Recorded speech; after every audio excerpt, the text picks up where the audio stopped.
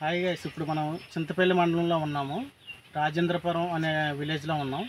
పరశురామ అనే రైతు పసుపు ఫామ్ చేస్తున్నారు. ఆయన పసుపు పంట ఏ విధంగా పండించాలో ఏంటో ఆయన చెప్తానన్నారు. ఒకసారి ఆయన మాటల్లోనే మనం విందాం. నాటడం అయితే మార్చిలోగా అవుతాం మార్చిలో తవ్వుతారు. జనవరి ఫిబ్రవరి చదువుతాం ఉమ్. ఎన్ని సంవత్సరాలు మార్చిలో రెండు సంవత్సరాలు. రెండు సంవత్సరాలు. మనం ఉడిచిన తర్వాత మళ్ళీ గొప్పది ఎప్పుడు తవ్వాలి? గొప్పు రెండు రెండు సార్లు గొప్పు చేయాలి. రెండు సార్లు. సంవత్సరానికి రెండు సార్లు? సంవత్సరానికి రెండు మూడు సార్లు చేయాలి. రెండు మూడు సార్లు చేయాలి. ఒక ఒక్కొక్కసారి పై పైన మొత్తం గడ్డి తీసేసి మళ్ళీ గొప్పు చేయాలి పంట దిగుబడి బాగానే వస్తుందా? ఒక సంవత్సరం పోయిన తర్వాత ఇంకో సంవత్సరం తవ్వుతాం అంటే రెండు సంవత్సరాలకు ఒకసారి తవ్వుతారు. ఒకసారి తవ్వుతాం. ఒకసారి నాటిన సంవత్సరం తర్వాత మళ్ళీ తర్వాత సంవత్సరం. తర్వాత సంవత్సరం. రెండు సంవత్సరాలు ఇరవై నాలుగు నెలలు తవ్వుతారు తవ్విన తర్వాత దీని ప్రాసెస్ ఎలా చేస్తారు? తవ్విన తర్వాత అవి ఉంటాయి కదండి డ్రమ్ములు. ఆ, పెద్ద పెద్ద డ్రమ్ములు గవర్నమెంట్ ఇచ్చినవి ఉంటాయి కదా. దాంట్లో పెట్టేసి ఉడకబెట్టేసి మళ్ళీ అవి బాగా ఆరిన తర్వాత రాపిడి చేస్తాం. మిషన్లో వేస్తాం కదా. చేసి మనం ఆ రేటు ఎలా ఉందో అది చూసి దాన్ని బట్టి మార్కెట్ రేట్ బట్టి అమ్ముతారు అమ్ముతాం. దళారులు మీ దగ్గరికే వస్తారు. వస్తారు. లేదంటే మీరు తీసుకుని వెళ్తారా?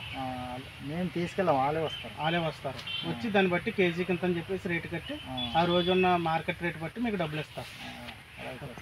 ఓకే. ఈ పసుపు వెరైటీ ఏంటి? పసుపు దేశవాళీ దేశవాళీనా అంటే నాటు పసుపు. నాకు పసుపు. నాటు పసుపు. ఒకసారి మనకి పసుపు ఎలా ఉందో ఏంటో ఒక మొక్క చూపిస్తావా?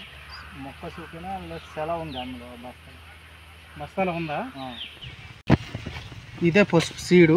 దీన్నే విత్తనం అంటారు. దీన్నే నాటుకుంటారంట. ఇది దానికోసమే తెచ్చారు.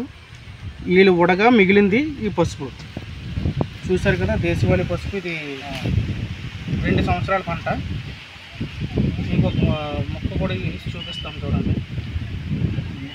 ఆ. ఇదిగో ఇది. దీన్ని ఉడకబెట్టిన తర్వాత దీన్ని మళ్ళీ ప్రాసెస్ చేసి ఎండబెట్టాలి. అప్పుడు మనకు పూర్తిగా ఎండి ఎండిన తర్వాత రాపిడి చేసి మనం అమ్ముకుంటాం అన్నమాట. ఓకే. స్మెల్ కూడా బాగా వస్తుంది. అల్లూరు సీతారామరాజు జిల్లాలో ప్రధానంగా పసుపు ఎక్కువ సాగు చేస్తారు. ఇవి దేశీ పసుపు అంటే నాటు పసుపు అని అంటారు కదా. దీంట్లోని curcumin percentage three to six percentage ఉంటుంది. దీంట్లో మెడిసిన్ వాల్యూస్ ఎక్కువ ఉండడం వల్ల దీనికి మార్కెట్లో మనకంటే విదేశాల్లో ఎక్కువ మార్కెట్ డిమాండ్ ఉంది దీనికి. ఇది ఆరు నెలల పంట కాదు రెండు సంవత్సరాల పంట. యాక్చువల్గా అయితే ఆరు నెలల పంట పండిస్తున్నారు మనకు తెలిసి.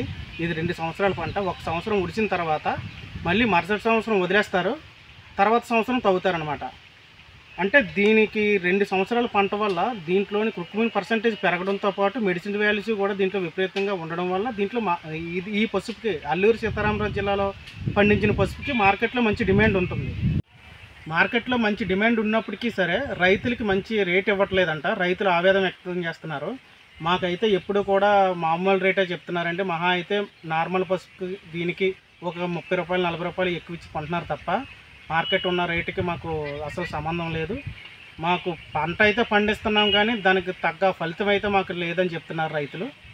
దీన్ని బట్టి మీకు ఎవరికైనా పసుపు ఎప్పుడైనా కావలిస్తే ఈ రైతుల దగ్గరే మేము పర్చేస్ చేసి మీకు పంపిస్తాము. రైతులతోటే కాంటాక్ట్ చేసి మీరు తీసుకోవచ్చు. ఇంకా మేము ఏమి బిజినెస్ అయితే ఏమి స్టార్ట్ చేయలేదు. ప్రస్తుతం పసుపు అయితే మంచి డిమాండ్ ఉందని చెప్పారు కాబట్టి మేము ఒకసారి రైతుల్ని కలిసి కలవడం అయితే జరిగింది. ఇది లంసింగ పరిసర ప్రాంతంలోని మీకు లంసింగ్ అంటే ఐడియా ఉండవచ్చు. ఆంధ్ర ఊటీ అంటారు. టూరిజం కూడా బాగా డెవలప్ అయింది. టూ- కొంతమంది టూరిస్టులు కూడా మీరు పసుపు కావలిస్తే నేరుగా వచ్చి రైతుల దగ్గర కొనుక్కుంటే వీళ్ళకి కూడా కొంచెం మార్కెట్లోని దళారులతో పోటీ పడి వీళ్ళు కూడా వీళ్ళు అమ్ముకోగలుగుతారు. అప్పుడు దళారులే వీళ్ళకి రేటు పెంచే మార్గం జరుగుతుంది. దీన్ని బట్టి మీరు రైతుల దగ్గర కొనుక్కుంటే మీకు ఒక రూపాయి సేవ్ అవుతుంది రైతులకు ఒక రూపాయి లాభం వస్తుంది.